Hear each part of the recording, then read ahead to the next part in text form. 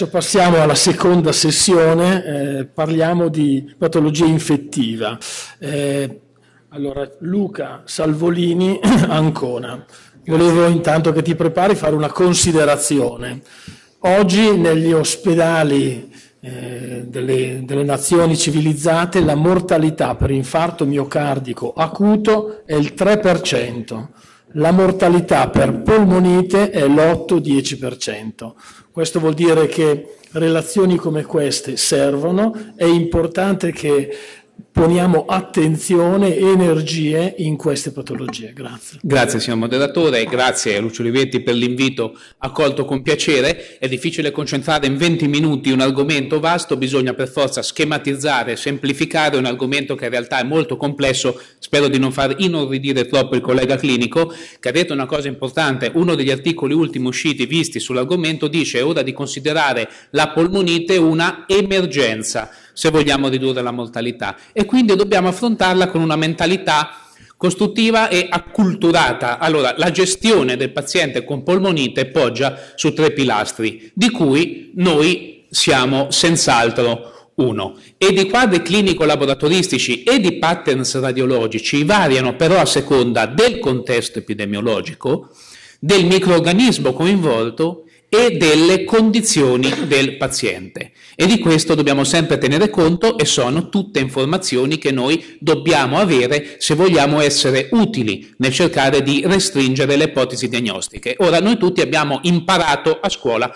una classificazione anatoma-radiologica classica, polmonite lobare, broncopolmonite, polmonite interstiziale. Certo, va conosciuta, però va capito che non corrispondono il più delle volte quasi mai a specifici organismi. Vanno conosciute sapendo che sono piuttosto espressione di patterns fisiopatologici, di meccanismi fisiopatologici e anatomopatologici diversi che possono essere più o meno espressione di diversi patogeni in diversi momenti, in diversi pazienti o in uno stesso paziente in diversi momenti. Quindi diciamo che eh, sconfinano un po' l'uno nell'altro, non sono compartimenti stagni come noi rischiamo di avere imparato.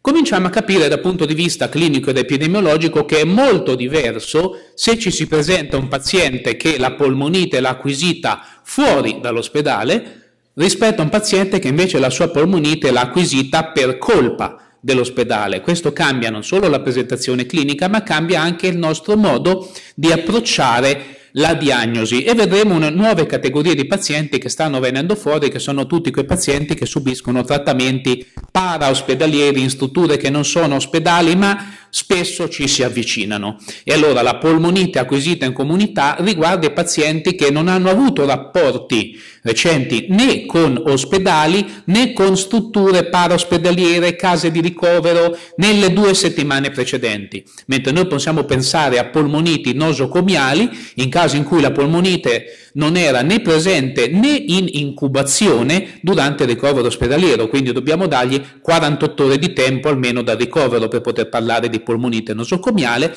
così come per le polmoniti associate a ventilatore, almeno 48 ore dopo l'intubazione. Quindi cominciamo a capire che dobbiamo innanzitutto sapere di fronte a quale contesto clinico siamo e in particolare questa nuova categoria di pazienti che è sempre più numerosa va tenuta presente perché quei pazienti che subiscono terapie domiciliari, sono ospitati in strutture protette, case di riposo, ricoveri che non sono ospedali ma in cui subiscono trattamenti, terapie che sono le stesse spesso e le condizioni del paziente non sono poi molto diverse dai pazienti ricoverati, ecco bisogna capire che questi pazienti dal punto di vista dei patogeni coinvolti, dell'estensione dei meccanismi di infezione, condividono molto più con le infezioni ospedaliere piuttosto che con le polmoniti acquisite in comunità, anche come tasso di mortalità che un po' ci si avvicina. E quindi diciamo che anche i patogeni coinvolti vanno pensati più quelli responsabili delle polmoniti ospedaliere rispetto a quelli responsabili invece delle polmoniti acquisite in comunità e sono pazienti questi spesso anziani, debilitati, con comorbidità, alcolisti e questo dà una modesta immunosoppressione che gioca senz'altro un suo ruolo. In tutto questo, il nostro ruolo, in particolare partendo dall'RX torace, ma della radiologia generale, qual è? Localizzare e definire l'estensione dell'opacità parenchimali nel far diagnosi, identificare segni associati, sospettare, identificare e definire le complicanze o come riscontro occasionale o quando si cercano e monitorare la risposta alla terapia nel follow-up. Ora, il riscontro all'RX torace di una opacità parenchimale nel contesto clinico appropriato è ancora il gold standard per la diagnosi di polmonite.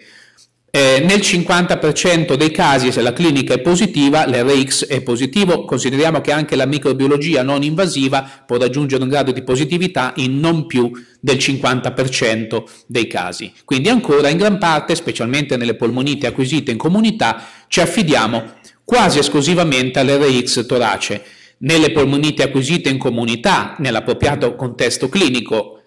RX positivo uguale diagnosi. Nelle polmoniti ospedaliere il discorso si complica un pochino perché ci sono delle condizioni che possono eh, far pensare a una polmonite ma che in realtà magari polmonite non sono, cioè non è detto che un infiltrato radiologicamente evidente nei pazienti ricoverati, in particolare magari in terapia intensiva, sia per forza una polmonite, per cui non basta dire c'è una consolidazione, servono anche altri criteri diagnostici per poter dire che quell'addensamento in quel paziente è sicuramente una polmonite nei pazienti ricoverati. Quindi l'RX torace è sempre il primo esame per la diagnosi iniziale. Di fronte a un RX torace negativo, se il sospetto clinico permane forte,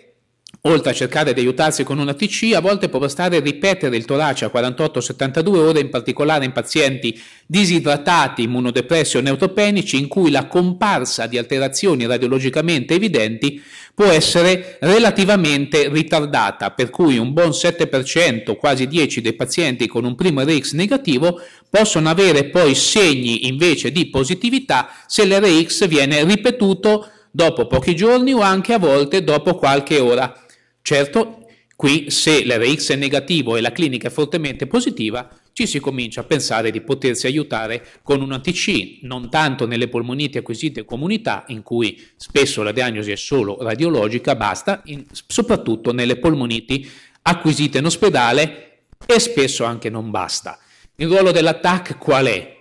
La diagnosi, specialmente nei pazienti eh, con polmoniti nosocomiali, non tanto in quelli con polmoniti acquisiti in comunità il cercare, definire le complicanze e il proporre magari delle diagnosi alternative nei quadri in cui l'RX è positivo ma la clinica non è pienamente suggestiva, ci può essere qualcosa sotto che magari spiega la clinica e non è una polmonite. Serve nel bilancio di gravità per decidere all'esordio quali pazienti acquisiti in comunità con polmonite severa devono essere ospitalizzati e quali possono essere curati a casa,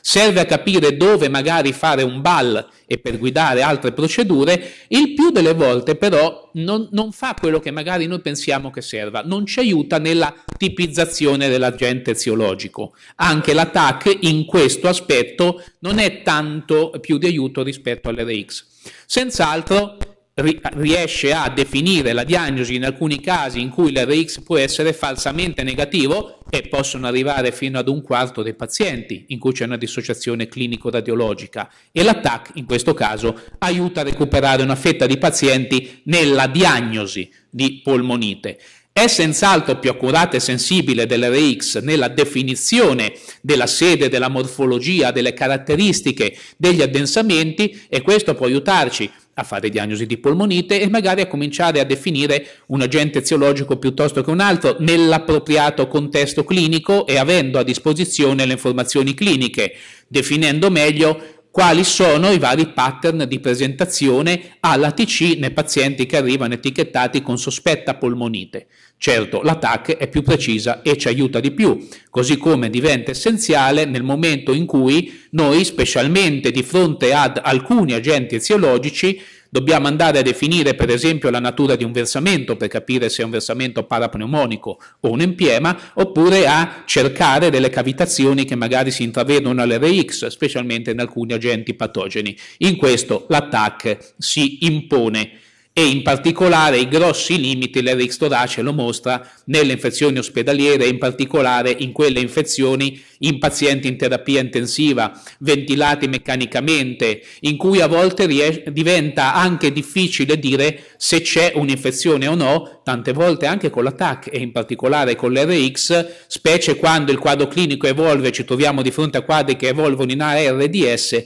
diventa veramente difficile e la clinica aiuta fino a un certo punto, perché questi pazienti comunque spesso hanno febbre, comunque spesso hanno secrezioni e ci sono addirittura degli articoli dove viene fuori che avere informazioni cliniche riduce l'affidabilità diagnostica del radiologo nell'interpretazione dei radiogrammi addirittura. Per cui, certo, non arriviamo a dire questo, bisogna avere tutte le informazioni cliniche, però diventa molto più difficile fare diagnosi di polmonite, ancor più tipizzare un agente eziologico nei pazienti ospedalizzati in cui però diventa decisivo perché la mortalità in questo caso diventa veramente alta e gli unici segni specifici per polmonite sono broncogrammi aerei, cavitazioni, in minor misura, questo si vede bene in TAC, consolidazione antideclivi oppure l'arrestarsi di fronte a una scissura di una consolidazione polmonare. In un paziente in terapia intensiva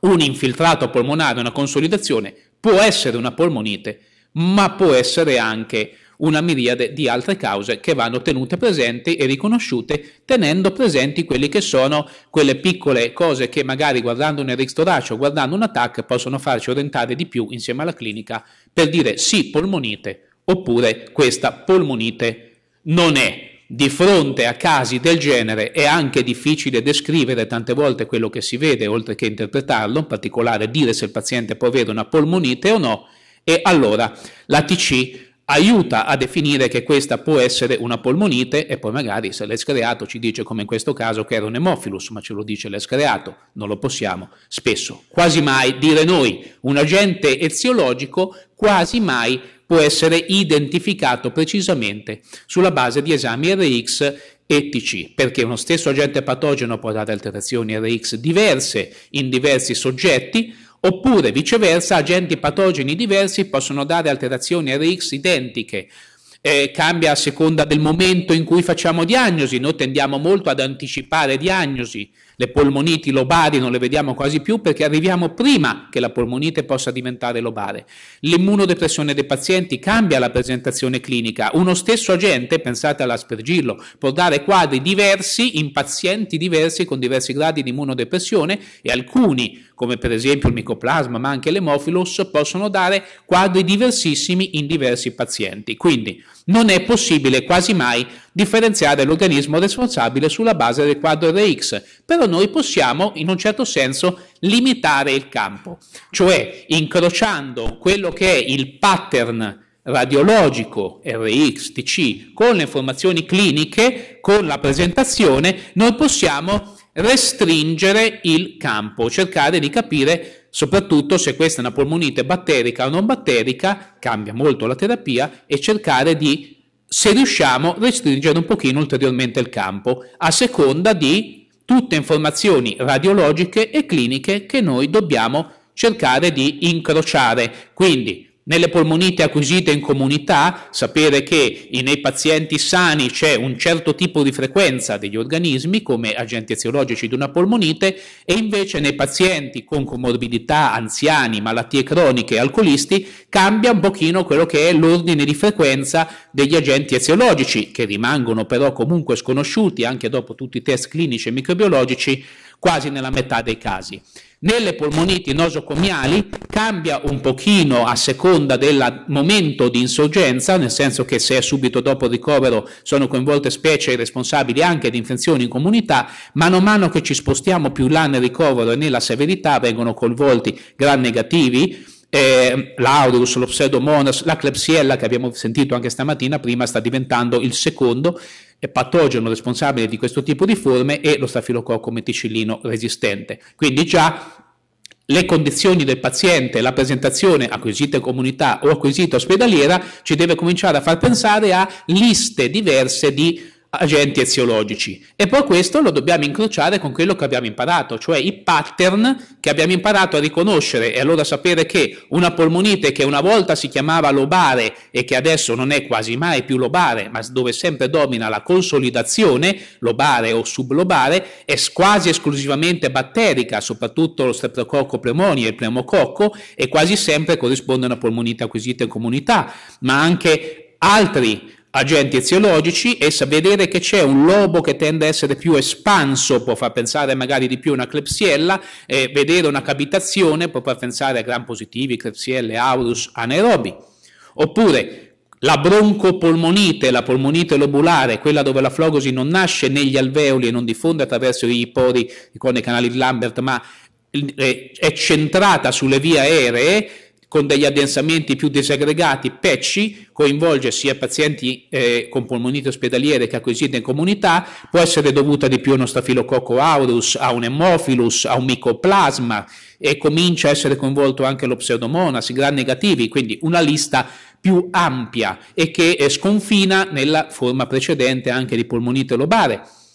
Di fronte a una polmonite che si chiamava una volta polmonite atipica, le polmoniti interstiziali, dobbiamo cominciare a considerare, magari in alcuni contesti clinici, in inverno, in determinati pazienti, ai virus anche come responsabili possibili, e eh, specialmente per acquisite in comunità e in ambiente ospedaliero negli immunodepressi. Il micoplasma può dare spesso forme di questo tipo, ma anche l'hemophilus, lo pseudomonas, quindi sempre incrociare quello che è il tipo di insorgenza epidemiologica, le caratteristiche cliniche del paziente con il quadro radiologico che abbiamo imparato a riconoscere, ma farlo in un modo più flessibile rispetto alla schematizzazione che abbiamo imparato, polmonite lobare uguale streptococco. Sì, è vero, però è vero non sempre, in tutti i casi, dobbiamo essere un po' più flessibili. Di fronte ad un pattern nodulare, macronodulare è un conto, soprattutto batteri, eh, forme ascessualizzanti, micronodulare è un altro conto e i virus magari possono entrare in questo conto e sapere anche nei pazienti queste le caratteristiche che può avere magari un embolo settico. Non parlo delle infezioni micetiche perché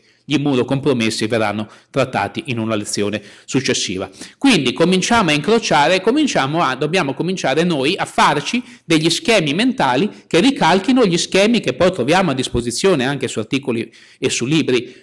laddove incrociando le caratteristiche radiologiche con la lista che abbiamo visto essere di microorganismi responsabili e conoscendo la modalità di presentazione, possiamo cominciare a dire quali possono essere in quel paziente i microorganismi più probabilmente coinvolti così come questa ce l'ha fatta vedere già Giorgio prima, quali possono essere le caratteristiche nelle polmoniti virali, dove non c'è quasi mai pure eh, alterazioni parenchimali, c'è un ground glass, ci possono essere micronoduli, tendono ad essere polmoniti interstiziali. Non ci pensiamo, ma alle polmoniti virali bisogna pensarci. Caratteristiche cliniche, alcune possono essere suggestive, per cui di fronte a una sindrome simile influenzale in ragazzi giovani si pensa a un tipo di polmonite, mentre invece la polmonite pneumococcica si associa di più alla presentazione clinica eh, classica della polmonite lobare che abbiamo imparato. In gravidanza da una maggior suscettibilità a pneumococco, negli alcolisti alla clepsiella, e così via. Quindi il collega clinico, l'integrazione col collega clinico diventa fondamentale, la diagnosi si fa insieme né lui da solo né noi da soli. Quindi impariamo a farci i nostri schemi mentali, incrociare quelli che sono i dati anamnestici molto spesso, non solo clinici, quindi anche noi li dobbiamo conoscere parlando col paziente, con quelle che sono invece le specie microbiche più frequentemente coinvolte. Solo così riusciremo a essere utili a cercare di limitare l'uso degli antibiotici e a eh, restringere quelle che sono le possibilità diagnostiche e quindi poter dire di fronte a quel paziente restringere il campo a 3, 4 possibili patogeni, già può essere che questo sia un qualcosa di molto aiuto, certo quando è possibile. Ultima cosa, il follow up. Ecco, noi molto spesso tendiamo a fare follow up un po' troppo anticipati, un po' troppo serrati, mentre molto spesso i pazienti guariscono più lentamente di quanto noi ci aspettiamo. Cioè, Certe volte noi diciamo questa polmonite risolve lentamente, ma è vero o siamo noi che cerchiamo di anticipare per poter dire il paziente è guarito? Ecco, alcune forme tendono ad avere un'evoluzione clinica più lenta, poi specialmente pazienti anziani, broncopatici cronici, mesi dopo la polmonite si vede una risoluzione radiologica completa. In alcuni pazienti però, in particolare in ambiente ospedaliero con polmoniti gravi, se di fronte a una terapia che si pensa mirata, seria, eh, non si osserva nessun miglioramento clinico, addirittura un peggioramento, ecco, in quel caso magari un attack può aiutare una TC a cercare delle cause, versamento, tappi di muco, embolie. Teniamo presente sempre che di fronte a pazienti che non rispondono a una terapia mirata possiamo o aver sbagliato diagnosi o aver sbagliato organismo oppure trovarci di fronte a una complicazione che impedisce il risolversi della patologia. Quindi, se vogliamo cercare un po' di tirare questi fili che abbiamo sparso, che ho lanciato per l'aula, l'RX torace è ancora il primo esame ed è il gold standard se positivo, in particolare per le polmoniti acquisite in comunità. È necessario che il radiologo conosca il contesto clinico, i diversi pattern di presentazione clinica, le complicanze, il decorso normale e patologico nella diagnosi e nel follow up. Bisogna sapere quali sono le caratteristiche dei pazienti con polmonite acquisita in comunità e quali sono le problematiche invece delle polmoniti nosocomiali e nelle strutture paranosocomiali. L'attack non si fa a tutti, è un, un eh, un kit problem solving eh, in caso di dissociazione clinico-radiologica nei pazienti in terapia intensiva critici immunodepressi di fronte a una mancata risoluzione in un paziente che peggiora o condizioni cliniche che diventano più severe e quando si sospettano complicanze. Nessun quadro RX e neanche TC può essere considerato di per sé patognomonico, salvo rarissime eccezioni, però il pattern prevalente che noi riusciamo a identificare grazie all'RX e alla TC insieme alla clinica possono suggerire una lista più ristretta di possibilità quanto a possibili agenti eziologici. Vi ringrazio per la pazienza. Grazie per aver, grazie per aver affrontato una